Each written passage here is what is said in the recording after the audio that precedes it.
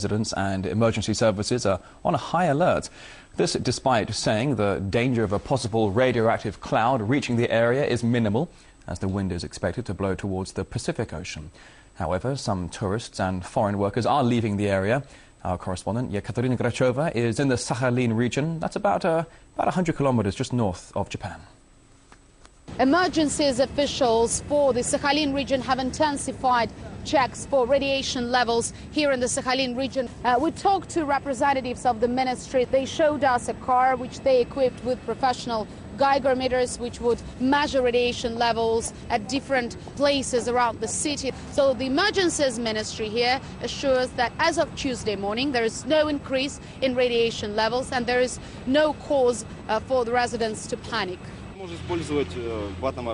the worst case scenario, locals can make respiratory masks at home. There's no threat to the health of the Sakhalin people. Radiation readings are at a normal level. Meanwhile, Russia's defense ministry says that it is ready to send out its personnel from the Kuril Islands anytime soon. This is the closest part of this region to North Japan. And also sales of iodine have rocketed in pharmacies across the city. Obviously, people want to make sure that they are well prepared in case if there is a radioactive emission threat. From what we know from people we've spoken to is that they are not quite sure whether Japanese are playing down the threat of a nuclear catastrophe or not. Planes leave the international airport of Yuzhno-Sakhalinsk according to the schedule, and from what we know, there are no additional flights arranged. Well, people here indeed are not new to natural disasters such as tsunamis and earthquakes, but with a nuclear threat in place, it seems that they have to be prepared for the unknown. And a lot depends on the wind. It is very crucial. So what people should be closely monitoring now is weather forecasts. It will take a radioactive cloud if there is an explosion inside a core of a nuclear reactor less than a day to reach this part of Russia. Yeah, Katerina Grachova reporting right there. Well, uh, so far, scientists say that winds are blowing from the east, so the radiation will head to the Pacific Ocean. Go to RT's Twitter page to find out how the radioactive threat from the afflicted reactors is likely to spread. And uh, Austrian scientists, uh, they created an animated map of the radioactive cloud movement. And we can see here that in the worst case scenario, it could reach uh, the U.S. western coast there of California. And um, you can always uh, check out RT's Twitter account for the direct link to this, and uh, that's RT underscore com. Well, Moscow is expanding its aid to Japan, with the number of Russian emergency workers involved in rescue operations expected to grow over the next few days. The country is also boosting its humanitarian aid and energy supplies. RT's Peter Oliver has more from the Russian capital. Hello to you, Peter. So, uh, talk to us about the extent of Russia being involved here. They're, they're heading uh, energy supplies, they're giving some sort of relief equipment. Uh, what, what, what items do you know of? Well, there's already Russian rescue workers and aid workers on the ground in Japan, and the numbers are expected to increase over the next couple of days so to around 180. Now, these rescue workers and aid workers are what's termed a autonomous rescue team by the emergency ministry here in Russia. What that means is they're like a rapid response unit. They're ready to go as soon as they hit the ground, and, and they don't require any additional help from the Japanese authorities. So they can uh, they won't be taking any people away from Japan's already overstretched um, rescue teams that are working right there. Now, it's not just rescuers that will be heading out there now, are already on the ground in Japan. It's also humanitarian aid, so we're looking at tents and shelters for those that have lost their homes, also things like food, water, and medicine. Uh, we hear that Russia have also said that they will um, provide any help to Japan that they can, should Japan request it. There's also a team of nuclear physicists in Russia's Far East that are ready to go to Fukushima should they be requested for any help that they could give there.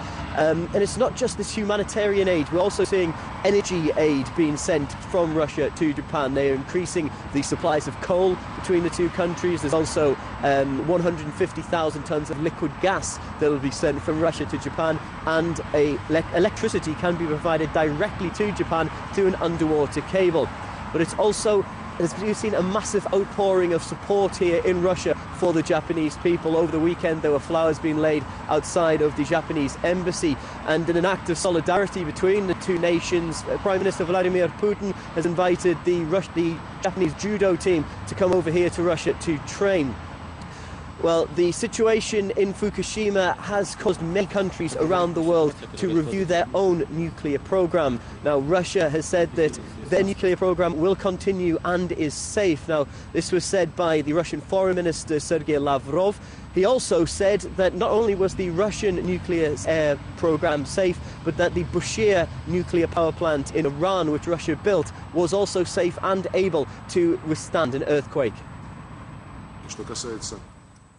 As for our cooperation with Iran in construction of the Bushehr nuclear plant, we are following the highest standards for safety. These standards are set by the IAEA, not Iran, and the UN Energy Watchdog monitors that.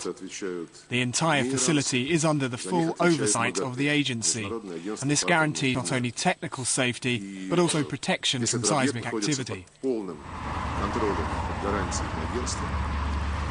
Well, as the situation continues to worsen by the day in Fukushima, it really brings into the foreground the the realization that, that mankind, how, how much is mankind in control when it comes to technology and that technology being impacted upon by the forces of nature. Have, have been raised, but not significantly, and are not uh, presenting any immediate danger to residents of the Japanese capital. Of course, at the same time, you have to remember that the levels uh, of radiation around the ponds are such that uh, uh thousands of people have already been evacuated, and uh, tens of thousands have been told to keep their doors and windows shut and do not leave their homes. So, at some po- at some point, there were reports that uh, radioactivity levels of just north of Tokyo have been um, uh, have been about 33 times the norm. So that is the situation that we're looking at right now. And of course, the IAEA is also saying that uh, radiation levels are going to uh, are going to uh, uh, Uh, uh, to rise in, the nearest future as radiation uh, reaches uh, Tokyo. So we're keeping a close watch on whether or not we're going to have any further reaction from the Japanese authorities once the the radiation levels in the Japanese capital may actually rise as well. we also know that pills with iodine have been more than 200,000 pills with iodine have been released by IAEA and uh, sent off uh, to the areas affected uh, the most. 2,500 people have been confirmed dead thousands are missing. So the number is probably going to, the number is going to change in the next couple of days. At this point, of course, the main concern is with the possible radioactive meltdown, nuclear meltdown, and that is what everybody is keeping a close eye on. But of course, uh, the um, the rescue efforts are still continuing. Uh, are, of course, countries, various countries helping uh, Japan in that regard. There's not that many people out on the streets. It's very, very quiet. It's almost a morose feeling. Uh, you would imagine Tokyo to be a uh, city bursting with life and activity. There's hardly anybody out on the streets right now. People that are out, they're all wearing facial masks. Uh, also, there have been report- also shortages of some foods have been reported. People are increasingly buying such things as water and uh, fish products, and uh, uh, some of the things have been disappearing off the shelves. But again, they're doing it in a very orderly fashion and manner. There's no panic. Obviously, something is in the air, so to speak, and it's not just radiation. It's probably probably fear and apprehension as people are still waiting for what's going to happen next. Irina Galushka there. Well, for more on the situation in Japan, let's now talk to Jan Haverkamp. He's a nuclear power expert at Greenpeace in Brussels. Thanks very much for joining us here on RT. Now, many experts are rejecting fears of a possible nuclear disaster, but we've already had three explosions in as many days with reports of radiation reaching harmful levels. What's your assessment of the situation from what you know so far? Well, three explosions and uh, and a hydrogen fire in a spent fuel pool, and especially that last one was um, was the reason for the soaring uh, radi radioactivity levels that we saw then afterwards. Um, the situation at this moment remains critical. It will remain critical for several days. Uh, the the operators there and they have to work with there's only 50 people allowed on the plant at the moment, and they work in 15 minute shifts, which is which is very little, and they have to work very many things by hand because remote control installations have gone down. Uh, the main operator room is, is not usable because of high radiation levels. They're working under extremely difficult circumstances to try to prevent the worst from the worst, which would, which would indeed be a core that is completely dry and that would, would lead to a meltdown. Now, given the shortage of, of cooling water and, and pumping capacity that there is at the moment, that chance is still is still existing and that will exist for several days to come. Many people talking about meltdown. What does that mean exactly? Yeah. What are the implications of a meltdown? For in case of a meltdown, what we would see would be a core that is completely dry. So the fuel would be completely standing dry, not being cooled anymore. The heat that is still coming off, and that is in the order of magnitude of several megawatts still, um, would make the, the, the core melt, uh, falling down.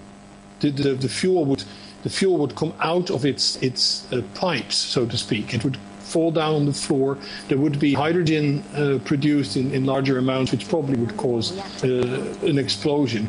Um, it either would melt through the uh, metal of the reactor vessel, or it would explode through it. Okay, so um, what, in that okay. case, in that case, it, it, would get into the atmosphere. Right. Yeah. So this is an explosion of radioactive material. Uh, what impact would uh, such a catastrophe have, not just in Japan, but when you're talking about a massive amount of radioactive material released into the atmosphere mm-hmm. and indeed into the into the water, into the sea? What impact, ecological impact, could that have in a wider area, in the Asian Pacific region and beyond? That is very difficult to estimate. We, remember that we've had uh, several of those accidents before Mayak 1957, Chernobyl 1986. We've had, of course, the nuclear bomb tests, but all of these are very specific, and also this catastrophe is very specific. It is very early now to predict what would happen because it would depend on how much of the material would get out. It would depend on what the sea streams would be, what the wind would be. Um, what is certain is that the spread of this material in the air would not go as far as that we've seen with Chernobyl. The reason for that is that it will not be boosted as high in the air because there is no graphite in it, like, like in, the, in the Chernobyl reactor. That means that most of the radioactivity would fall nearer to the nuclear power station, but there it would create larger havoc than we've seen it in the case of, of Chernobyl. Also keep in mind that the surroundings of, of these nuclear power stations are a lot more densely habitated than we than we had known uh, in the case of Chernobyl. Uh, you're, you're, so, you're, we haven't got a lot of time. You're from Greenpeace, um, and your yeah. stance on nuclear energy is pretty widely known. You would prefer not to have nuclear yeah. energy. What impact could this have then on the future of nuclear power, not just in Japan but around the world now? There was talk about a renaissance of nuclear power, and I think this might be one of the factors that brings the reality to the people. And the reality is that nuclear power is on its way out. Um, there are less new power stations coming online uh, than there are switched offline already for, for over but, a decade. But, but, nuclear power is safe in Europe, isn't it? I mean, Europe doesn't face tsunamis no. and, and, and, earthquakes. Is, is it not safe and clean in Europe? Um, also, we have earthquakes. Uh, also, we have uh, natural catastrophes. And if there's one thing that we've learned from the Japanese experience, it is that if you are hit by, let's say, an earthquake as a natural disaster, the last thing you want to see is you also have to spend part of your capacity preventing a nuclear catastrophe.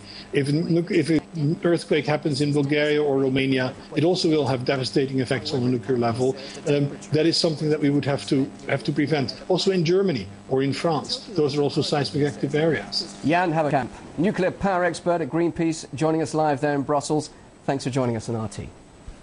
You're welcome. Emergency response meeting here in Brussels uh, has been raised from expert to ministerial level. That means all 27 EU energy ministers have been called to, uh, to Brussels to really coordinate an emergency response. Gunther Oettinger, the EU Energy Commissioner, says we need to see if we can provide an energy policy for the EU that uh, avoids nuclear energy. Of course, it's a, it's a flip. It's really a change from the traditional energy policy of many countries in the European European Union, which was to increase its nuclear capacities because Italy, for example, is a big EU country which is starting from scratch a big nuclear program. France, Belgium here also uh, have big nuclear programs, but now there is increasing concern about the safety, obviously, of uh, nuclear reactors, and there is growing public opposition to that now. There was a demonstration of around 60,000 people in Germany uh, near four nuclear reactors there. And to give you a flavour of the sentiment here, here in Brussels. Let me just quote from the